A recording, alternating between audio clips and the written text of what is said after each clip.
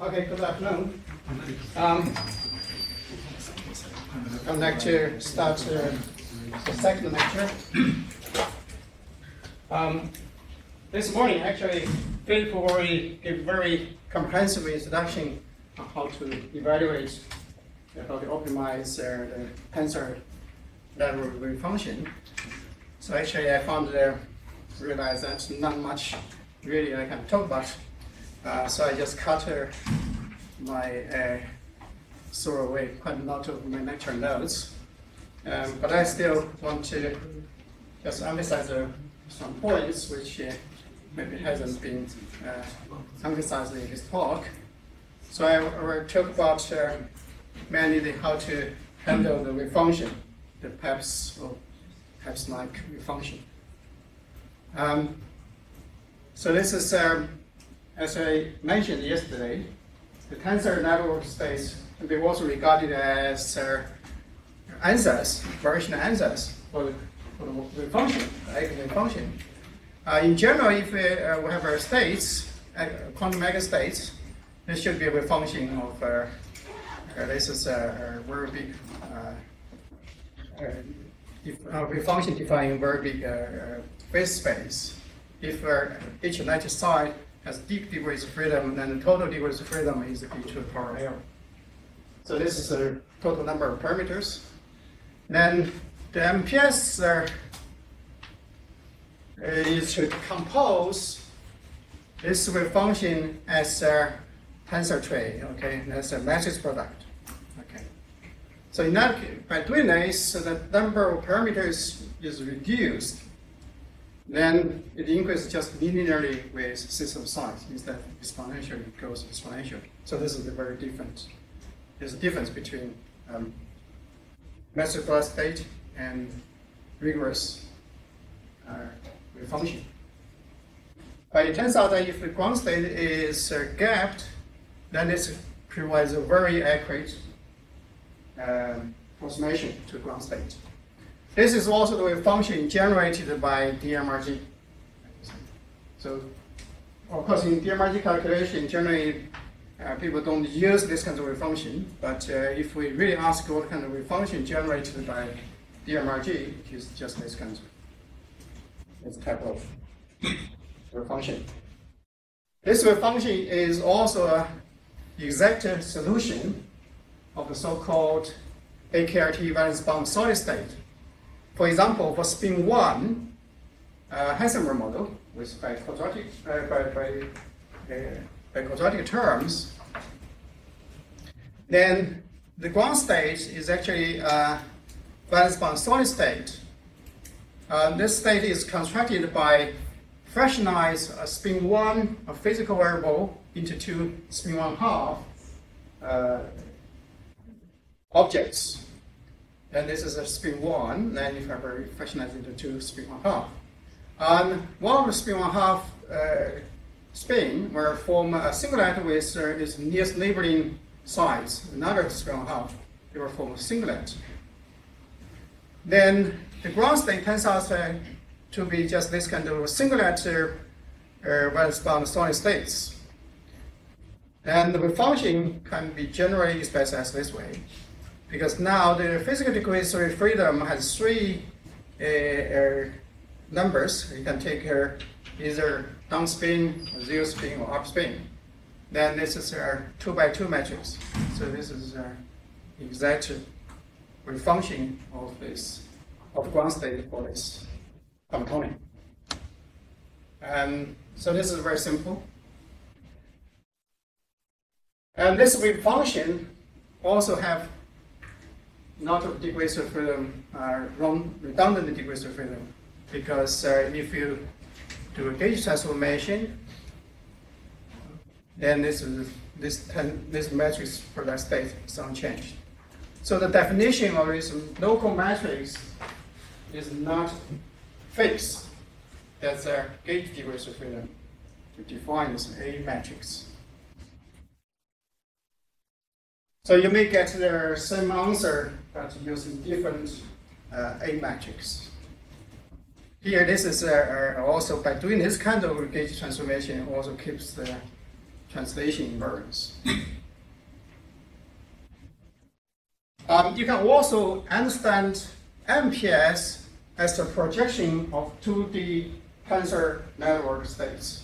This is a classical model. If you cut the system into the from the middle of the lattice, then do the projection onto this side and this side, so you get uh, the ground state function bra and a ket. So this is uh, another way to understand what is MPS. MPS is just to do this projection. Of course, when you do the projection, then the bounded degrees of freedom here will increase exponentially with the number of layers you project onto the, the bottom layers. So you have to cut it, bound, cut it. By cutting, will actually introduce uh, uh, the approximation. So also because it's cutting, then the, this originally each tensor defined on each vertex, uh, there's no free parameter here, but here there's re, you can have a lot of degrees of freedom to determine what is the optimized uh, cutting of truncation. So that work actually gives you the freedom to determine its uh, AI by different kind of methods. DMRG is one of them. Okay, you can also use other method like uh, iTEBD, and this is time evolution, or we just using Hamiltonian uh, optimization, just minimize the ground state energy. So this is another way. Uh, of course, this can be extended. Uh, oh, you can also, because in literature, also quite many people discuss about uh, matrix product operator. You can also define the eigenoperator, for example, for the ground state. You can also determine this eigenoperator. Um, so this is uh, another way to treat uh, quantum system. Instead of find the ground state with function, you found the ground state eigenoperator. But uh, this will not give you much benefit in real calculation because in the real ground state, this uh, um, eigenoperator can in principle be factorized into two decoupled matrix product states.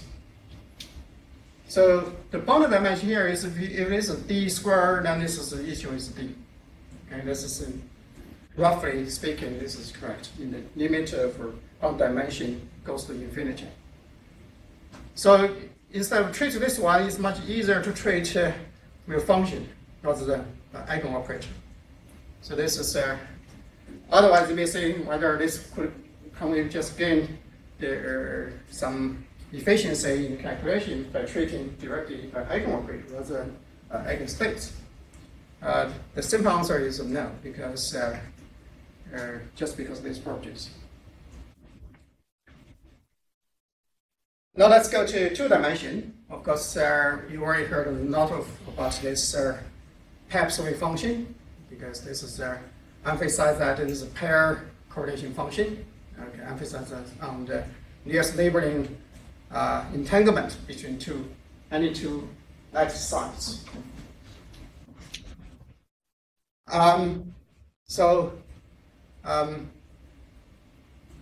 I'll skip this because this will be worded not quite well.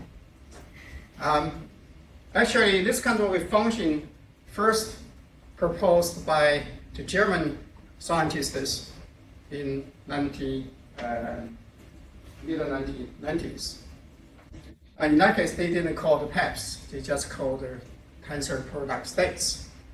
Um, the bound dimension they, they wrote down is also very small, just equal to 2. But they do have this kind of form. Okay? Um, later, um, and uh, Martin Delgado um, also just uh, proposed this just slightly generalize this one to discuss about how to use this kind of function to solve Friedel Heisenberg model. Um, later, uh, Nishino and his collaborators also uh, use this kind of function to to do the variational calculations. But it is until uh, 2004, then uh, when Verstraete and Cirac published a paper, uh, we realized that, well, they pointed out that this kind of a function satisfies the variable. So this is make this uh, kind of a function uh, a very general expression for the uh, many body systems. So this is, uh, I think, it's only after their work then people become more seriously to to study this kind of functions. And it's similar to the mathematical state. The PEPS wave function is also an exact representation of the so-called valence bond solid state, but not in two dimension. In two dimension, um, we can construct, also construct a exact soluble model, which is one whose ground state is a valence bond solid state. For example, on square lattice, one can define a spin two uh, Heisenberg generalize the Heisenberg model, um, so that uh, um, also you can fractionize the spin two uh, object into four spin one half objects. So this is a fractionization. Then also next one of the uh, half spin to form a spin singlet with one of the nearest neighboring, uh, another spin half on the nearest neighboring side. So they form just a singlet. Now if uh, all spin from spin singlet, then the ground state can be expressed uh, in this way. Okay, I will not write down the, the formula for this. Uh, uh, T matrix, uh, T tensor. It is very easy to, to, to write down the expression using the boson representation. Um, uh, the Hamiltonian in this case is actually a projection operator. It's, uh, uh, it's just uh, two spin of uh, two spin two spins. They can form either total spin equal to four or three, two, one, and zero. then this projection operator is just say, just project out all the spins, the total spin on two sides, total spin equal to four. Okay, so that's the Hamiltonian. Um, similarly, you can construct this kind of state in other kind of symmetries, you know, other kind of spin systems. So um, then we ask uh, what kind of properties of this uh, PEPS wave function can have. Um, because for any finite dimension of bounded dimension, um, the correlation is always short range. Correlation is always short range. So um, if a system is gapped, then this is a good representation uh, this uh, function can converge quite quickly. So if a system is gapped generally, it should, for example, the constant energy should show exponential decay with or convergence with a bounded dimension. Otherwise, if the system is gapless, doesn't matter it's a point uh, contact uh, point nodes or just a, continuous Fermi surface, then you show some kind of polar dependence on the bounded dimension. So this is uh, one of the properties one can out from the bounded dimension dependence how the system is gapped or not gapped. Is there any proof? No, no proof. Actually, I think this is just a belief. Because uh, at any finite bounded dimension, generally uh, the correlation is short range. If it's gapless, the correlation should uh, be should diverge. That's the only if one say this is proof, then this is only a partial uh, picture for how to understand this from dimension. Then, uh, given uh, uh, representation, then what we need to do uh, is first, of course, to determine those lo- local tensors by whatever means. For example, the, all, um, the, the method introduced uh, this morning by Philip, and he actually discussed a lot about this uh, how to determine this tensor. Okay, I will also just uh, discuss this briefly. Um, after we obtain this uh, local tensor, and the second thing we need to do is to evaluate this uh, expectation value using the method I discussed yesterday, also discussed by yesterday. Okay, so this is actually uh, what we need to do. Um, just concerning this uh, tensor network evaluating these expectation values, then let me just uh, briefly discuss about the properties, which is um, very bit different from what I discussed yesterday. Because in this case, in order to, for example, to evaluate the denominator, we need to contract this uh, final state with the initial state. Then they form uh, uh, just a two-dimensional tensor network state, that with uh, bound dimension d squared. So that's the difference. Generally, if d, for example, is 10, then this is a big number, 100. So this is very different from the Ising model. In Ising model, this is a physical bound is just d equal to 2. But here, it's much, much bigger.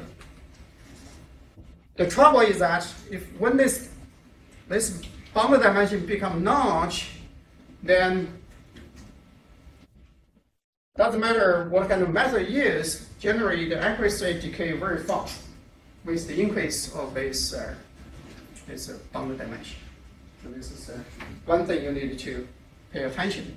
Because yesterday I showed the results very accurate. You can get an extremely accurate result, for example, for Ising model. For Ising model, but here, you may not have that accuracy anymore.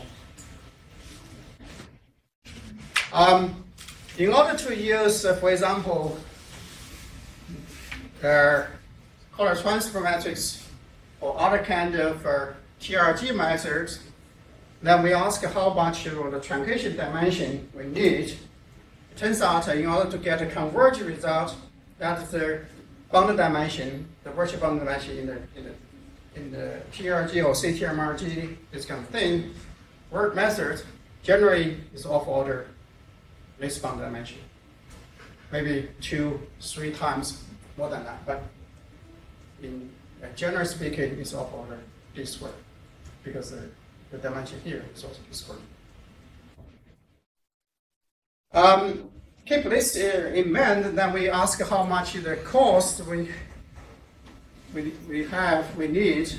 And this table I showed you before, but now I just say, in order to evaluate uh, the uh, expectation values, how much the cost we have, then generally this is the, uh, the table I have. It's given here. Um, here, um, this is a number is slightly different from what uh, um, showed this morning uh, because I'm more conservative, is, uh, he shows this number is 10, right?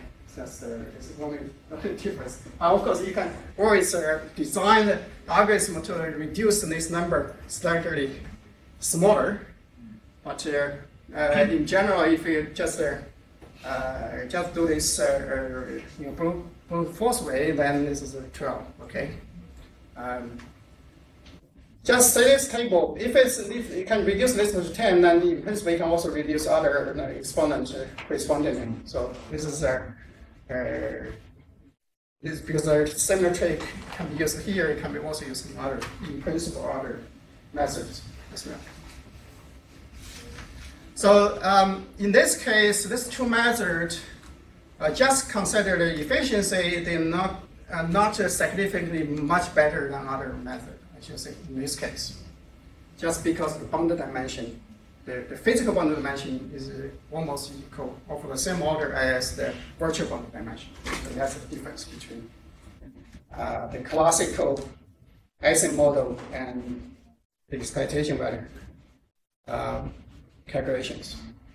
For square lattice, I still suggest you to use uh, this uh, say TMRG or TEBD, this kind of method. For honeycomb lattice, I think it's better to use uh, this SRG because uh, that can keep the symmetry of the lattice. Oh, because uh, uh, honeycomb or triangle or uh, or even um, some lattice that can be uh, converted to a honeycomb lattice. Um, the other methods are generally uh, very expensive, so I don't suggest you to use it. Um, this method seems to be uh, okay uh, in 2D, but uh, I, we haven't tried this, so I don't know how good it is. Uh, the trouble is that when you do the minimization, version minimization, it may become unstable when the boundary dimension become big. So that's the only thing you need to worry about when you use these kind of methods.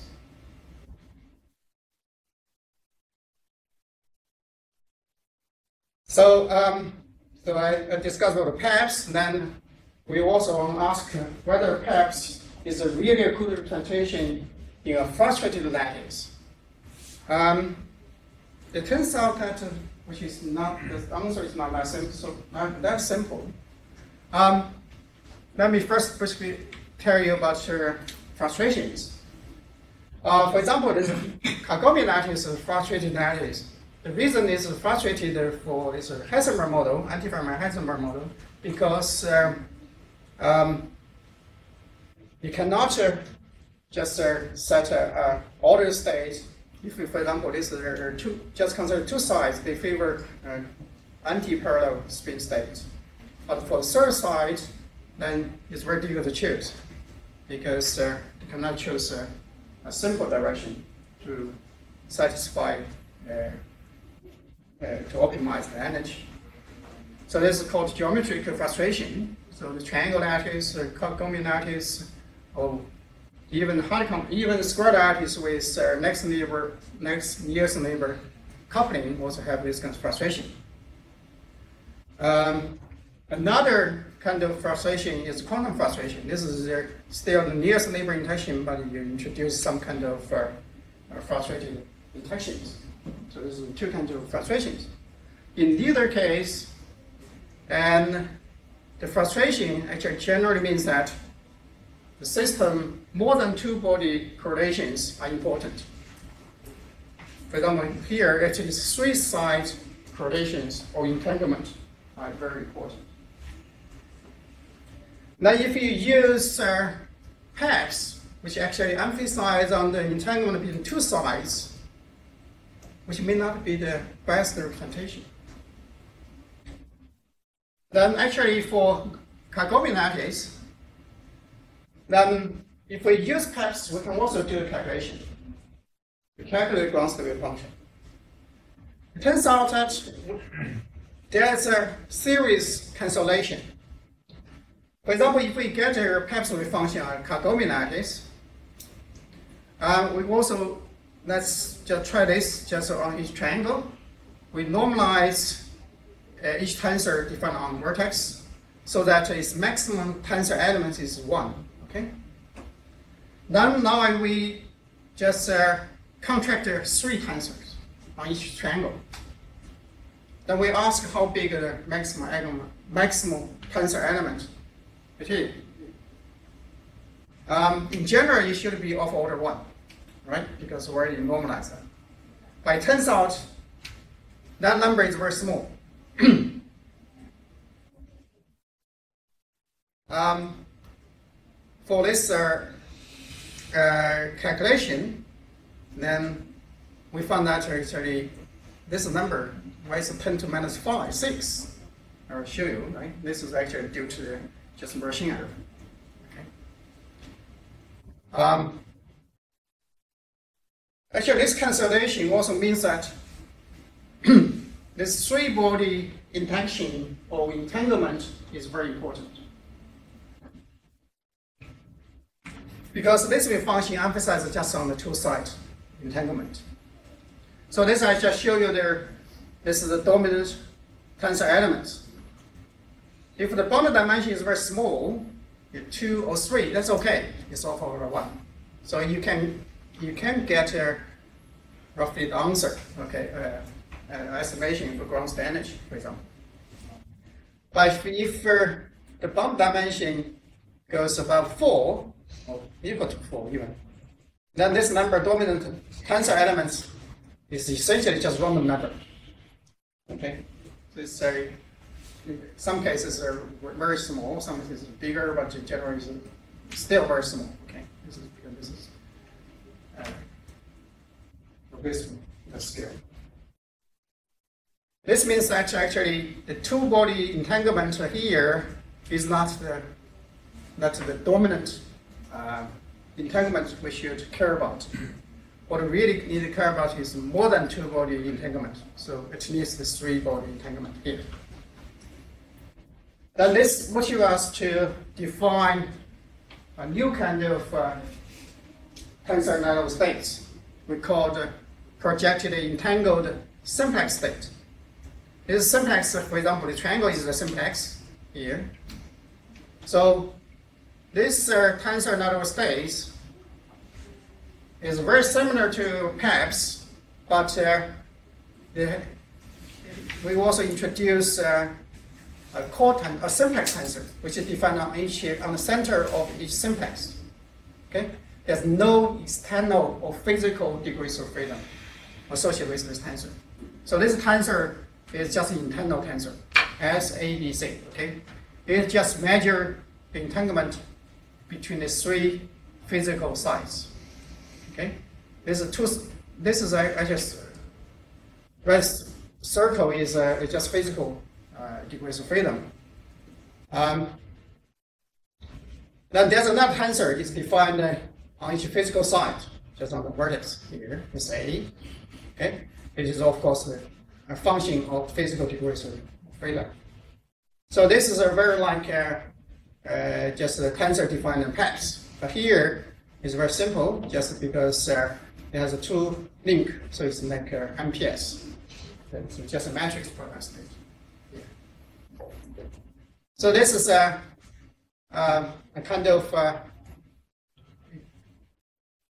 tensor network, network space.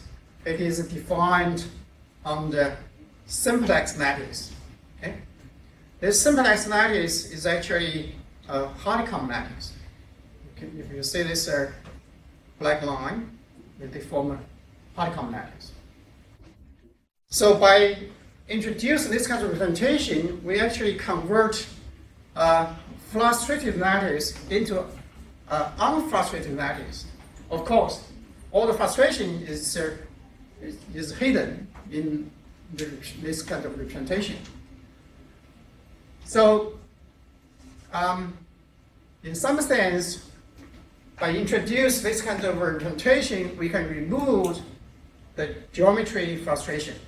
Okay, at least uh, uh, just uh, not uh, uh, contain a frustration explicitly in the representation of the wave function. Also, this wave function is uh, cheaper or just cost less than the PEPS function. Because in the PEPS function, each, uh, each left side has four labels. So there's four virtual index. But now it has only three here, only two here. So for A matrix, it has only two virtual matrix, or virtual index. For this uh, simplex tensor, it has only three. So it has a nice number of virtual indexes. So of course, this is a kind of save time in calculation. Also save uh, memory space. So this is a, a better representation, uh, at least for the for the study of uh, uh, this Kagome system. Again, actually, this kind of a function is also exact representation of uh, extended um, solid state It's called simplex solid state. This kind of state was first uh, studied by Arovas in 2008. This is a, still give you an example. This is a spin 2 uh, spin model, S equal to the spin model, which is defined on Harcon lattice. On each left side, we have a spin 2 object. Then we also fractionalize this spin 2 into two spin 1 spins, S equal to 1 spins. Then 3 spin 1 can form a spin singlet. So on each triangle, this three spin linked by this uh, y, uh, this is uh, uh, just a simplest tensor. Actually, they form a singlet. Okay. So this is a like, very like uh, uh, valence bond solid state. In valence bond solid, they generally they have a, these two form a spin singlet, right? But uh, now it's a three spin one form spin singlet. So that's the only difference. So this kind of function actually can be also very easily write down. So this is actually a function. Because uh, 3 spin 1 will form a singlet, then we can read it out uh, from just the coefficient. This is just defined the core tensor. So that S tensor here is just this uh, coefficient of the, the singlet. So this is uh, basically just an anti-symmetric tensor here. So very simple. Um, one can also read out uh, this uh, the matrix here defined on bound is actually nothing but the Grabish Gordon coefficients because this is just projection to project uh, two spin one s equal to one spin into a uh, spin two objects. So it's a two spin one into spin two. So that's the so it's very simple. And you can also construct the Hamiltonian for this. Uh, again, it is a projected projection uh, Hamiltonian. Actually, Hamiltonian is not unique. You can define two kinds of Hamiltonian. One is still like uh, the Hamiltonian I showed you before. It's just uh, P4 to project a two spin, neighboring spin onto their four uh, total spin equal to four spin state. Another way is, to define uh, more complicated, slightly more complicated. It's instead just project onto spin 4, I also defi define to project on each triangle, the total spin, rule out the, the total spin on each triangle be 4, 5, 6. That's the, another uh, Hamiltonian, which this is uh, defined on each triangle. This is just a two-side induction. This is a three side induction. So that's the only difference. So this kind of representation, you can also generalize to other kind of lattices. You can choose a simplex and then define uh, a tensor wave function. Uh, of course, you can also generalize uh, to enlarge the simplex. For example, for this uh, Kagome lattice, you can just uh, put two triangle you set this true triangle as one simplex. In this case, uh, the core tensor actually links five sides, five lattice sides. So we call this the five PESS, okay? because uh, simplex just connected five lattice sides. Uh, this kind of function actually was uh, uh, was used by Corboz in his study uh, in 2012. You can also define a uh, study even larger simplex, for example, in this case, three triangles linked by a simplex tensor. In this case, there's, nine sides are connected by uh, one simplex tensor here. So we call this NumPath. Of course, you can enlarge the size of the simplex, and so this is like a cluster expansion. Okay, um, this actually also gives. so you can, if you can do very large simplex, then in principle, you can get very accurate results. Uh, it's another way to approach uh, infinity lattice system.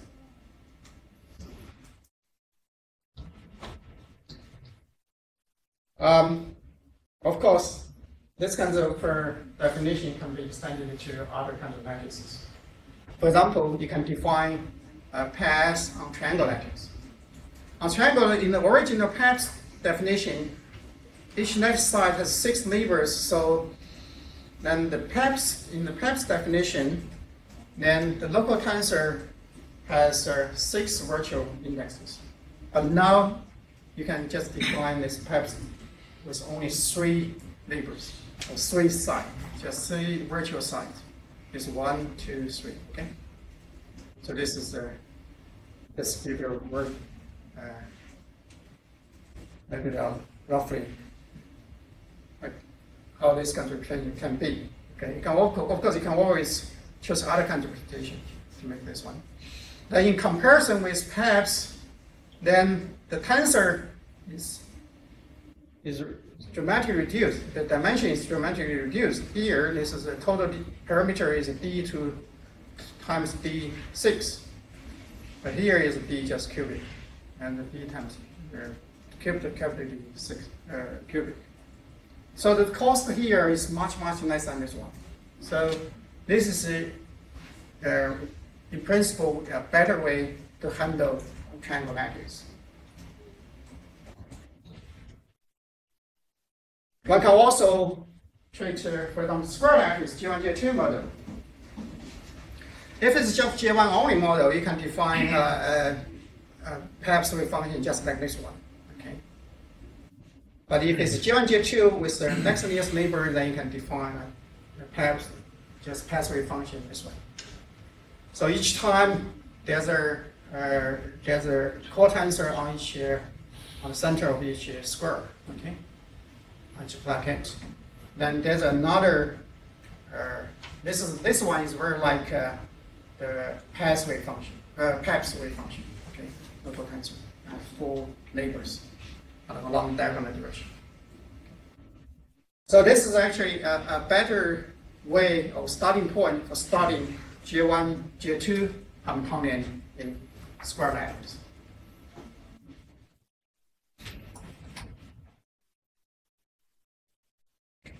Then um, now I move to the discussion on how to determine those uh, kind of functions.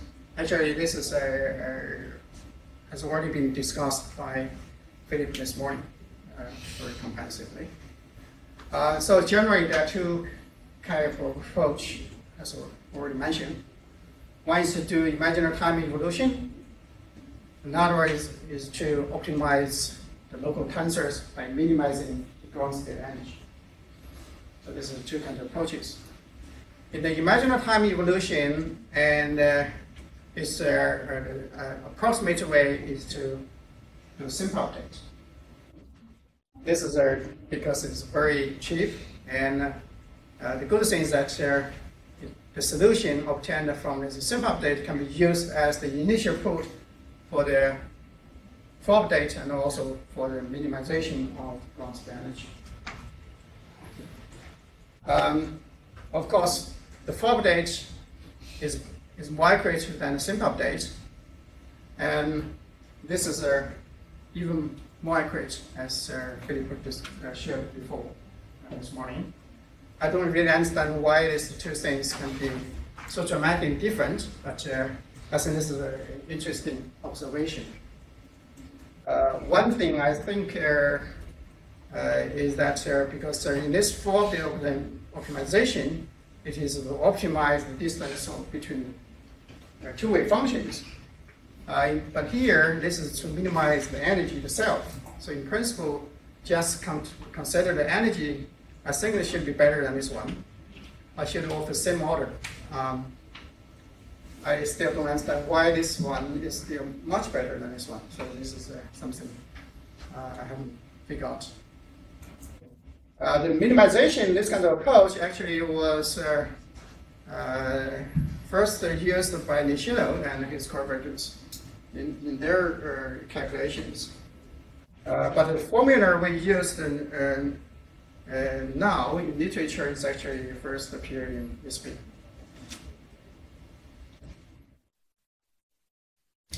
Um, okay, this is already discussed by um.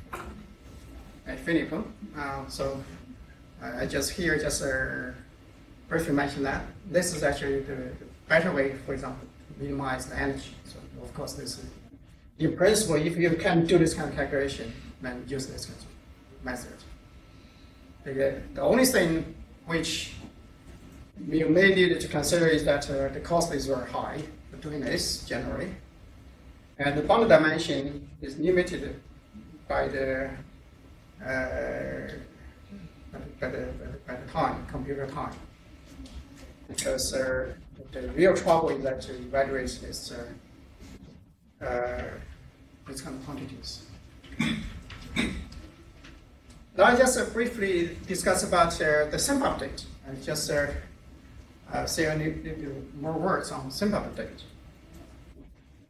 The simple update is actually a mean field approach. It's to take the entanglement. This is actually not well-defined entanglement. It is uh, just a kind of uh, approximately defined entanglement as uh, mean field to do the calculation. So, but anyway, the, the idea is to take some kind of uh, uh, bound vectors. Uh, we treat this bound vector as kind of some kind of entanglement as a mean field to, to do the calculation. So this is the idea. This kind of approach actually is a rigorous pro, uh, approach in the in, in, the, in the Bethe lattice because in the Bethe lattice there are no loops. Um, this kind of approach actually converges very fast. Okay, also make the calculation very stable. And another thing, good thing is that uh, you can easily treat uh, a dimension as large as 100 or even more. So, um, so this, in principle, this kind of approach is very like DMRG, okay? Because uh, DMRG actually is, uh, you can also think that DMRG actually is just some, some kind of update approach. Because in, in 1D, there's no loop at all, okay? So this is a 1D is just a special Bethe lattice. So this is actually the, the, the motivation why this uh, kind of uh, simple update uh, approach is proposed. So um, in, the Bethe lattice, or in any kind of lattice without loops, then you can construct uh, its uh, canonical form. So that's actually important because in 1D we can have a canonical form, but also this is a, you can also de- define very easily define the canonical form on Bethe lattice. For example, if this is a AB sublattice system you know, defined on this beta lattice, then this all lo- local tensors must satisfy these uh, uh, canonical conditions. If it satisfies this condition, then if it does truncation, that's in principle the optimized truncation. So this is why this uh, work, this kind of method can work. So this is uh, uh, this definition is just a, uh, this tensor, uh, the, the two tensors, and all the t represent a tensor either b or a here. Okay. And this is theta here is just a, is a bound vector defined on each bound. Um, uh, on this Bethe lattice, this bound vector actually just the singular value spectrum of the entanglement spectrum defined on each bound. Okay. Because on Bethe lattice, you can always count a bound to separate the system into two parts. Then you can always ask about uh, what's the entanglement between these two parts. That's actually the entanglement spectrum is just this kind of bound vector. So this is a uh, this is a physical uh, background for using this kind of method to treat uh, uh, to do the calculation. Um, this is uh, the, the calculation itself is very actually quite uh, straightforward. Um, we, in order to do this uh, uh, calculation, we generally use imaginary time evolution. And to calculate uh, ground state by, by applying a projection operator on an arbitrary initial function. Of course, in real calculation, we need to divide the data into many small uh, steps. So uh, in real calculation, this is done in, uh, in three steps. For example, we first apply this uh, horizontal bound, then this one, this, and this one. And it's repeated many, many times. Uh, in the real calculation, of course, uh, we need to consider the contribution of these uh, bound vectors. So this is the only difference. And the first step is to to apply this uh, horizontal this uh, gate onto this uh, two sides horizontal bound. Then we can define uh, local tensor on these two sides, just here. Um, this is the definition. Then the second step is to do a singular value decomposition. Okay, that's the only thing. So singular value decomposition is to then determine uh, found a new horizontal vertical bound. Just a, it's a new spectrum weight or entanglement defined on that bound. Then the third step is to do the truncation to make this uh, use the bond dimension here, in principle d squared. But now we cut the bond back to the dimension, back to d. So that's the only thing we need to do. Okay, so this is uh, how do we uh, determine uh, these uh, local tensors with uh, uh, with uh, simple update. So here, the, the, the picture is that we use always use bound vector as an effective field to mimic the environment contribution. So this is uh, the idea. And this method works uh, quite efficient just because the, the whole projection is done locally. Of course, this is just a local optimization approach. It is not considered environment contribution. Uh, another good thing is that this kind of approach, uh, the truncation error not accumulate. So at every step, it may not so accurate. But uh, we don't worry about that because uh, eventually you'll converge. The bad thing is that because this is a local approximation, so the long-range correlation is not included. So if you want to consider or you calculate any quantities which involving long-range correlations, this may, this approximation may not be that good. Okay, so for example, if we calculate the magnetization, this were method will always overestimate the value of the outer current magnetization. Um, but the deviation is not that big, I should say, to consider how simple this method is. Now let's, uh, for example, just uh, apply this method to the simple update approach to, uh, Heisenberg defined on Husimi lattice. Okay, this is a Husimi lattice. Okay, it's very similar to Kagome lattice locally. It's have the same structure as locally, has same structure as Kagome lattice. So this lattice is much more simpler than this one because there are no big loops, only only triangle. That's the only loop. Otherwise, there's no. Okay. Um, although this is simpler, but we think that that can be used to, to give us some information on this lattice. Because this is uh, the lattice is nice frustrated. If the ground state on this lattice is a spin or without any, any non order, then we believe that should be, this one should be also spin liquid. If this is a not spin liquid, we cannot say too much. If it's a um, magnetic order, we cannot say much to our on this state. But uh, if it's really spin liquid, then we can definitely know that there's no order there as well. Because uh, this is much, much strongly frustrated. The good thing is that uh, this one we can consider a tree-like PESS wave function. That's a tree, okay? No loops. And in this case, simple data can give us very accurate results. So that's a good idea for, for study this Bosnian atoms. Now I just show you the, uh, some kind of result. So the question is that uh, whether this uh, constant can be a spin liquid. Okay? Um, so that's uh, I've already mentioned. If this is state is really really uh, spin liquid, it's likely that this must be spin liquid. So this is the idea. So that's why we can use uh, even simple update to gain some knowledge about a very complicated problem. So I, now I show you the results. This on this for similarities, the bond dimension can be, uh, in principle, it goes to 1,000. But uh, here, I just show you.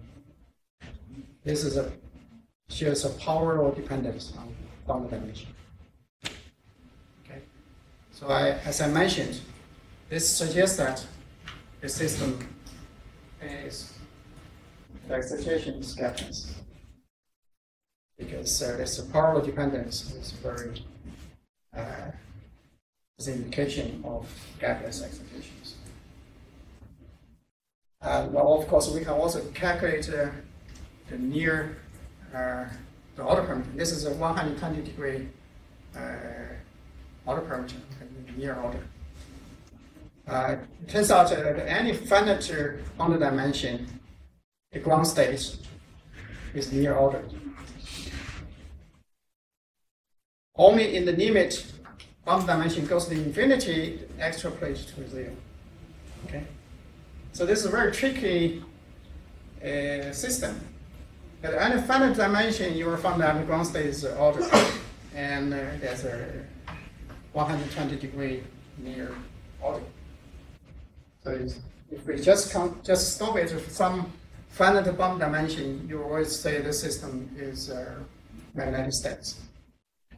But in the true ground state, in the limit bound dimension goes to infinity, we actually found that it's a magnetic order branch. So this is a, um, this is an indication that So, so- sorry, so what is definition of your order parameters? Your SI X is a. This is a a- spin one half operator or? Yes, it is. This is this is a spin. Oh, sorry. This should be uh, uh, yeah. This is average uh, spin on each side, x direction, y direction. Oh, Vectors. Then this uh, because uh, you can have a gauge uh, have a gauge arbitrarity. So Then this expect, expectation value should, shouldn't vanish? uh, it's not vanish because this order space. Yeah, but there, so, so. in On each side. On each I- I- I mean, the one hundred twenty degree in one plaquette, it may constitute one plane spin. Th- That's right. Here, this is for each site. For given site, we do the average, not the average of the whole lattice. Whole average is- on the whole lattice, of course, is zero. Mhm. So this is a this is a local quantity. They have a 100 degrees of uh, uh, difference. Okay. Yeah. So it doesn't necessarily mean that the presence of spin Uh, it is magnetic order. Uh, I mean the dipole order. Dipole. Uh, not dipole. It is not dipole. It is 120 degree. We will check this very carefully. Because we didn't fix that, uh, for example, this is uh, really on the plan or just in the zigzag direction. So that's why it uh, just uh, calculates uh, quantities. So this also means that uh, this uh, the Kagome lattice must be very complicated system because uh, finite bo- bounded dimension, you may find that the ground space is ordered. Okay, but in the if the bounded dimension goes to infinity, then that order will vanish. Okay. So this is um, actually a problem we feel very hard to, to really handle this because uh, in, in, the, in this uh, real lattice, of course there are loops, and the bounded dimension we cannot treat so big a bounded dimension. Okay, just actually we have only points there. Now how can we just uh, say, oh, just get information on that? just from the kind of studies. Um, so now we just uh, discuss about the Kagome lattice. For example, then apply this kind of things. See if we can put more constraint on Kagome lattice itself.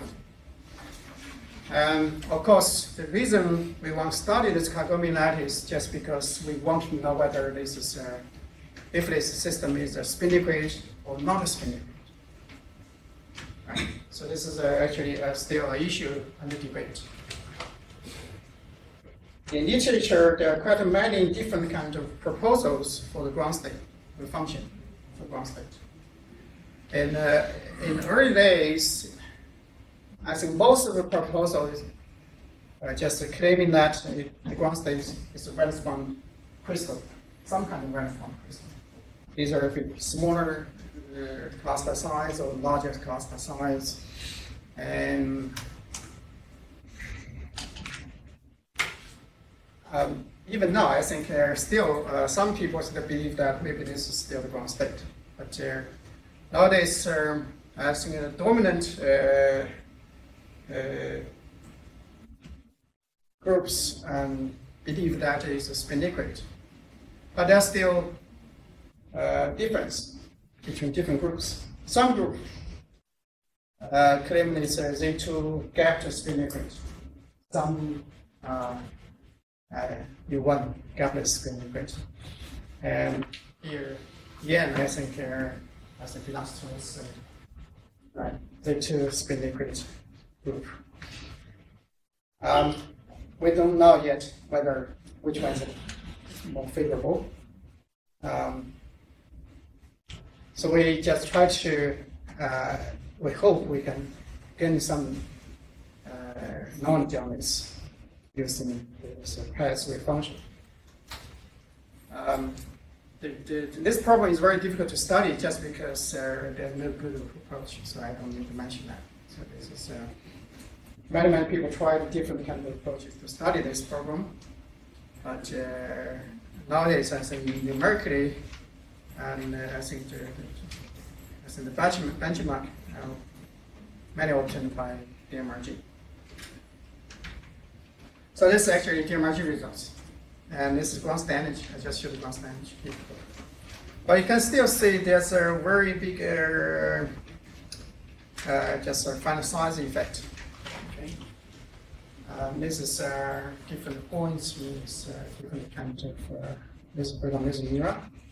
Uh, think the are too high. And uh, this is uh, the result estimated by Steven White and his from the isolation of uh, the geometric calculation. This shows the result as a, a function of the inverse of, uh, of the cylinders. Okay, just uh, inverse uh, circumferences. So um, I don't know how they, uh, maybe Yan can explain to us how they do this extrapolation. This, uh, this dashed line of those, those points, right? Um, Um, Good questions. Stefan would have done that. I don't know what function you to. all right, I see. But anyway, this is uh, this is just uh, those points, right? When they, they have to do the extrapolation, so this is uh, value. Um, so this is uh, this is roughly the, the. Okay, it's uh, lower than the value obtained by uh, Steven White and his collaborators. Now we see whether we can get a, a better result, oh, get, get some convergent result using PESS wave function. So this is actually a, a broader spectrum uh, for the gross energy obtained by different kinds of groups. And uh, for spin gap spin liquid, can the energy can be there, there, there, so many. All the gapless is here and Valence bonds on this higher energy. Then we tried to use uh, PESS to do the calculation. This is uh, uh, the calculation we did uh, before. Uh, using just a simple update to the function. Okay. Of course, this is uh, the energies are uh, should be higher than the update uh, uh, energy. So you can see very clearly it's still not converged yet. Okay? Uh, so, so we tried hard to make this be uh, to go to a larger bound dimension. Um, but we still cannot see whether this is really converged. But it's just become uh, tends to converge. It may not really converge exponentially. It may keep this be some kind of algebraic. Okay? Um, unfortunately, have very larger, we cannot do much, much larger bounded dimension. So it's already, 25 is already quite a big number. But just from this, those data, we, seems and feel that is more likely, the convergence is more likely to be algebraic rather than exponential. In this sense, we think it's more likely to be gapless, like situation is more likely to be gapless. Can you distinguish with the case of gapless and very small gap We cannot, state? we we cannot, So be- be- because in the case of Kagomel, so we, yeah. uh, we, we- If the gap is very small, then we cannot distinguish that. The only thing we can distinguish is to increase this bond dimension to a larger bond. Now, if we say this is very large, then still algebraically decay and converge, then that may rule out if the gap is too small, then of course we cannot really. But in literature, that gap is not that small. yeah. Yeah, it's 0.05, something like that. I think this is value suggests that we cannot uh, say whether it's- this is a a proof, but suggests that it must be less than that.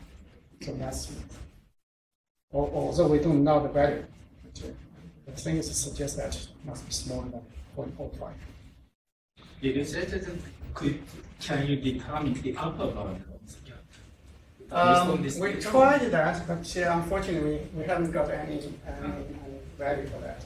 Just, uh, just uh, this is because b to uh, 25 is already quite big number. Yeah, so still not see any kind of uh, exponential convergence. So that's an indication, but not, this is a, this is not a proof. So this is actually we tried very hard, and then eventually found that this problem is even harder than we tried. So this is the problem. Do you use a rat unit? Um, here, this is three sites. We also use uh, nine pass, Okay, uh, but unfortunately, uh, for nine pass, we, we cannot do much. Uh, we do not have a result of uh, above uh, above 15, I think. Uh, I do not have a data here. But, we do the calculation for nine pass. We even tried the 36 because that's very much backward. But unfortunately, this only starting a few points there. So not many uh, results yet. Um, um, so uh, also make a comparison with Husimi because the gross energy and so they, they show very similar power law dependence. So in that sense, they, we, still cannot feel the system uh, converge exponential. If it's not converge exponential, uh, that definitely means that uh, it's uh, gapless. Of course, we, that's unknown because we do not points above uh, 25. And we can also calculate uh, magnetization. Because uh, the Kagome lattice, as I mentioned, is, uh, uh, is much more frustrated and the magnetization should be surprised. This is indeed true. Magnetization is smaller than the corresponding Husimi lattice. Um, but uh, here, um, we, we do not, uh, we, we only have a point up to equal to 20, okay? So from here, we cannot say too much. Whether this will drop to zero faster than this one, or just uh, keep going in some algebra. So this is very tricky. So this is a problem. It's uh, too hard for us to, to give a very uh, concrete conclusion uh, at the moment. So we still uh, tried to see whether we can find a way to solve this problem. Okay. Either by adding, for example, J2 term in and to enlarge this uh, uh, space, or introduce some other kind of uh, uh, preservations go away from this. Uh, I think this is critical point, the J1, J2, and this could be just a critical point. So if we put more other interactions, then we hope this problem can be partially solved.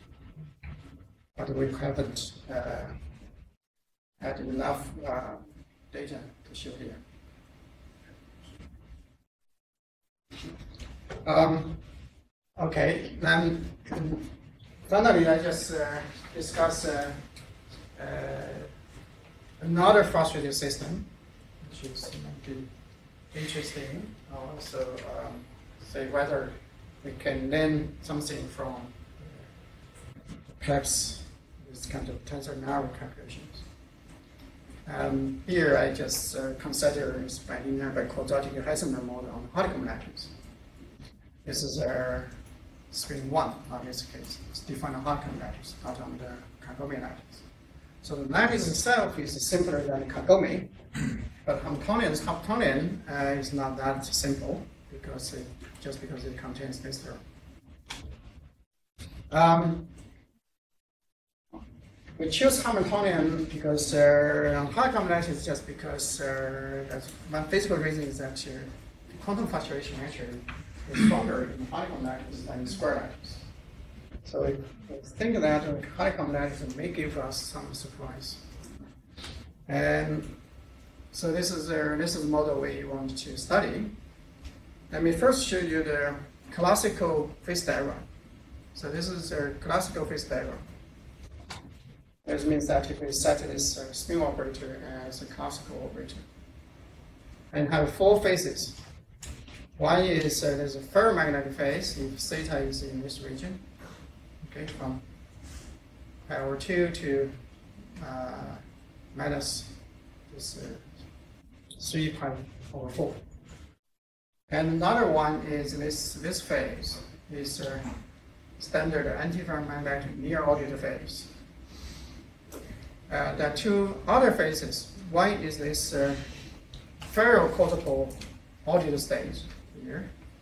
Another one is uh, anti-ferroquadrupolar order phase here. Okay, so this is classical uh, phase diagram. Then the question we ask is that uh, whether the quantum fluctuation were modified in this phase diagram. And then we do the calculation with uh, tensor network states. Then this is ground energy. Uh, and also this is this ground the derivative of energy as a function of theta. Indeed, we found there are four phases. One is this uh, uh, ferroquadrupolar order phase, and Néel order phase. This is actually a new phase. This is a ferromagnetic phase. This actually is not the phase uh, predict, predicted by uh, classical calculation in the classical limit. This is actually a plaquette ordered uh, crystal states. Okay. Um, you can see actually um, the phase transition here because the derivative there's a jump here. There's also a small jump here. And also jump here. So this is a three phase transition. There's another phase transition here. Cannot say this because uh, that one is continuous. Um, interesting is that uh, just this phase transition, because from this phase to this phase, actually is uh, not a conventional non-dot type phase transition. It's corresponding to a phase transition of uh, deconfined uh, phase transition. Uh, so this is uh, this is actually the the, the, the, the, the surprise we we found in this phase diagram.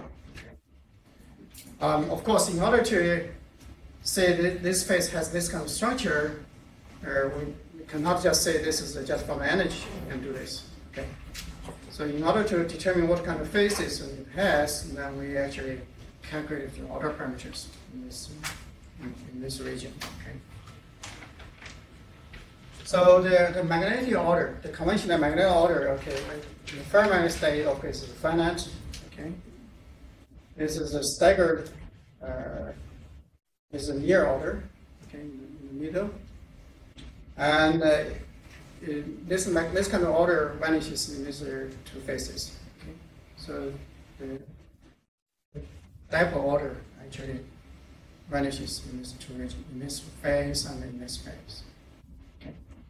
Uh, here, the critical point is not powerful, it's actually close to 0.19. Okay.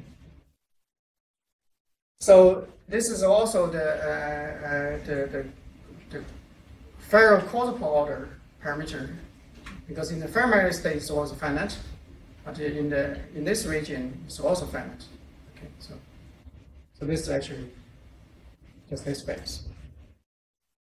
The anti-quadruple order actually vanishes in the all uh, phase space. This is actually not uh, true in the classical limit. In the classical limit, it should be finite in this region, in this space. Yeah. But now actually quantum fluctuation actually uh, surprised this anti-causal order. And of course, as I mentioned, this is a plaquette order phase, but uh, at the beginning we don't really know what it is. Now we calculate this uh, order parameter, we eventually found that this actually the phase.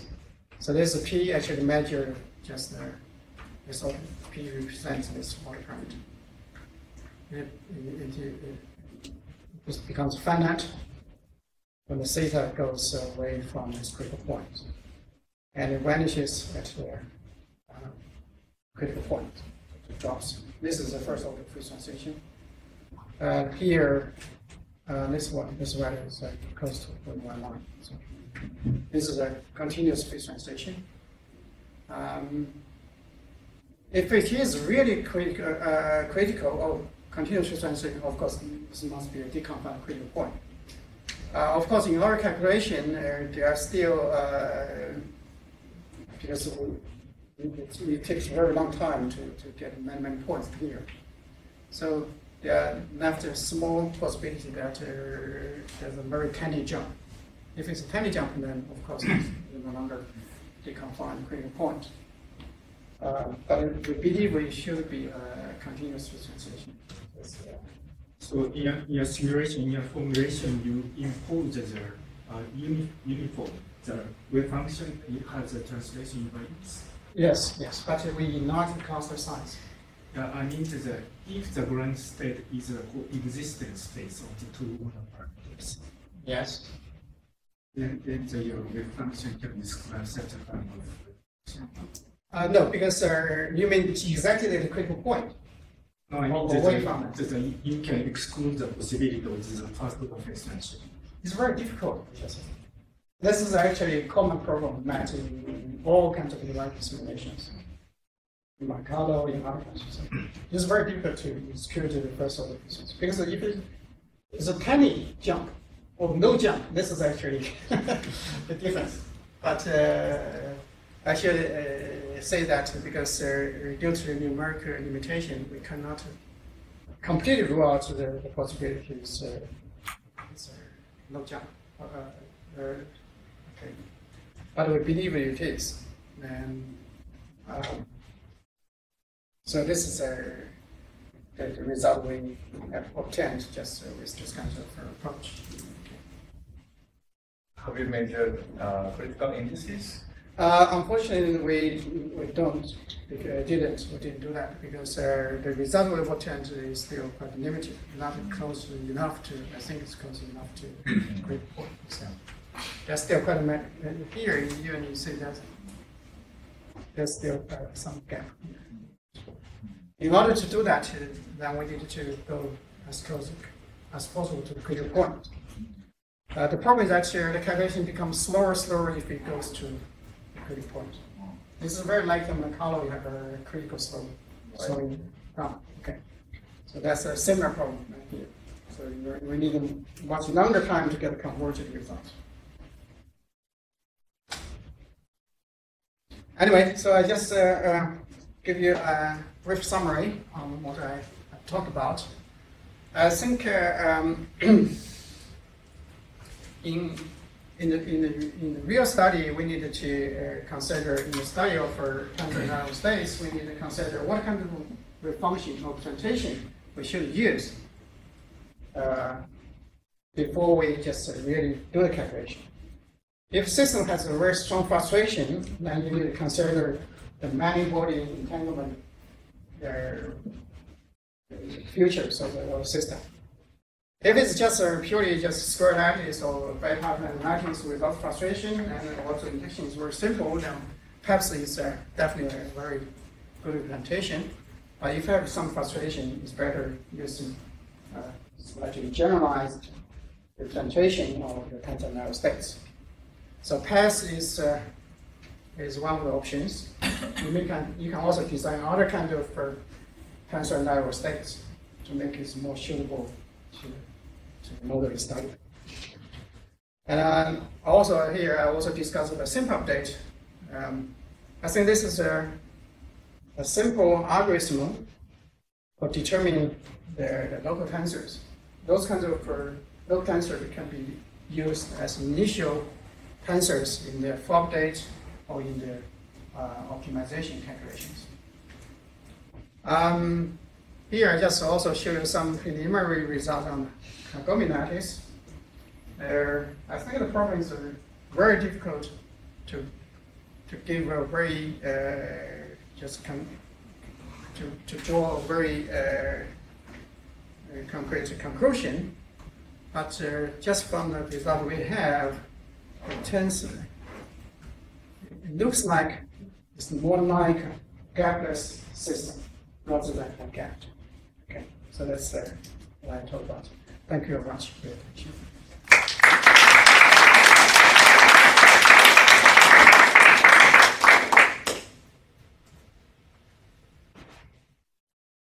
Have you measured the entanglement entropy? Uh, no, we haven't. Yes, uh, entanglement entropy is not that easy to calculate in the, uh, in the, in the past uh, implementation. This kind of implementation. Um, We can calculate it, for example, but uh, it's not that average. so just. We haven't done this. Also very difficult to make uh, separation, just the first thing. Generally, people say there's an entanglement entropy if we have a Z2, for example, Z2 uh, U1. Uh, Z2 is spinning and the entropy should extrapolate to, to uh, minus log 2. But that uh, value actually is very difficult to obtain. That's my calculation, because their extrapolation is not reliable. We try that, but we want to we haven't found any result which would be is, a good or reasonable. One question about this uh, last part of the confined Yeah. phenomena. Um, uh, I, I'm, actually, I wonder, uh, I mean, to, how, how large, I mean, the uh, bond index must be for detecting the VBS order, I mean, the valence bond solid uh, ordering, I mean, on this side, P, P or P, your P. Yeah. I mean, uh, because. Here, um, for this uh, particular uh, figure, I think it's, uh, I forgot the number, eight or ten, something. Um, okay, um. It's not yeah. that big. no. I see. Uh, I, I'm, I'm- I'm asking this because, uh, I mean, symmetry breaking field, lattice symmetry breaking field is uh, dangerously, only dangerously irrelevant uh, at Right, the confined critical phenomenon. yeah. So, uh, uh, if you do the Monte Carlo simulation, for example, you Mm. have to go to very, very uh, large system size in order Yes. to really detect the symmetry breaking. So, I mean, I, I'm just wondering. uh, Here, the, the, the similar, we need a larger bond dimension. Uh-huh. The lattice is not problem, Uh-huh. dimension is a problem. Because the- the lattice here, we assume. Yeah, of course, I know. lattice- is inferior. Yeah, But some bond dimension is actually. But the six, you said six or eight, uh. Uh, six or already eight. or maybe ten, I forgot about it, so, in order to just uh, to to go more closer to these points, we need uh, much more accurate calculation. Uh-huh. But anyway, this uh, this is, I think is a good candidate for Right. for the for the for the confined phase. Unfortunately, the Monte Carlo has, uh, has a sign problem here, so that's the the that makes the the tensor network uh, calculation only option here. So that's a problem. So we hope other methods can be used to check it, uh, Right, for example, if you can apply the tensor renormalization type technique, I mean, in principle, you can uh, directly obtain the uh, information about the critical indices and That's right. dimensions. You're right, yes. can. But uh, that's just what I mean. We need a, uh, more careful calculation around the illustration. Yes, sir. Calculation. We haven't done this.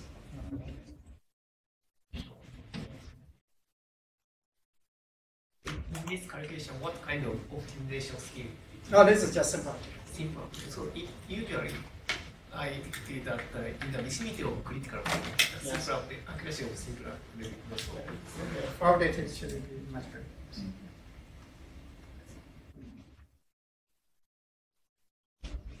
Oh, sorry. This is a, uh, I should say, it's a, it's a partially for. Okay. So because the full update is not for the whole lattice, it's just a, uh, just a cluster update. Okay. So it's, a, it's a, not, not, not purely just simple update. It's a, just a, because this is done with uh, SRT update. So after it's uh, not many steps. So it's, uh, in principle, it's a, you know, it's a full update.